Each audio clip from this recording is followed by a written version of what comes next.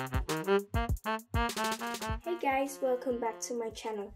Today I'll be showing you my Lego supermarket MOC. So first I'm going to show you the um, different sides of it. So this is the front. This is the left hand side of it. This is the back of it.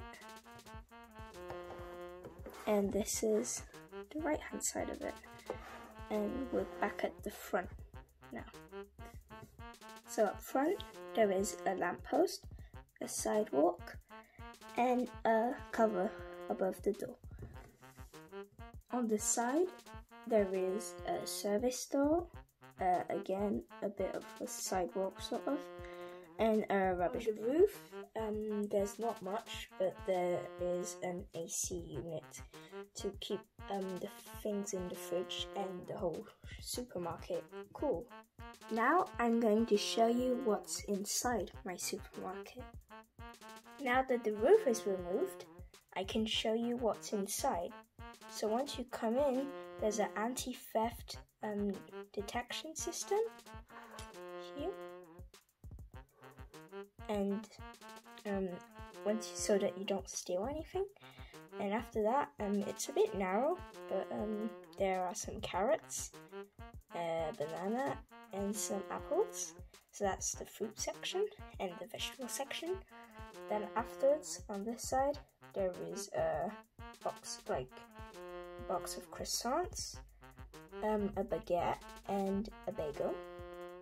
And on the other side, there is a shelf um, that just has a few random products on it, really. It's nothing specific. Then, opposite to that, um, there is another small shelf, and there's the butcher. And so, the meat is in this fridge. And so, today's special is chicken. Um, inside, there is a sink um, and some scissors. And here is a little door for um, the workers to get in, and is also where the delivery door is. And once you finished your shopping, here there are the checkouts. Because there wasn't much space, I did like self checkouts. So this is what they look like. And yeah, that's about it for the inside. Thank you very much for watching this video. I hope you enjoyed and please don't forget to subscribe and hit and to hit that notification bell.